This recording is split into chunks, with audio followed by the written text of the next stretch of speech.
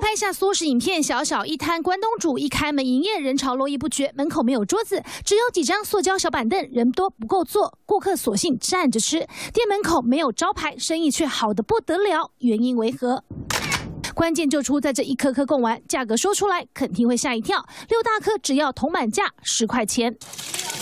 一大锅的关东煮，每一样都很便宜，米血黑轮七块，萝卜两个五元。而最特别的还有这种吃法：热汤加小包的香菇肉燥面，只要两块钱。而最划算的就属这个满满贡丸，六大颗十块，好便宜呀，太便宜了啊！老板这样会不会亏损呢？价格压这么低，听在其他业者眼里觉得不可思议。一大碗加了芹菜、小白菜，给四颗二十五元，如果给到六颗，至少也要三十元起跳。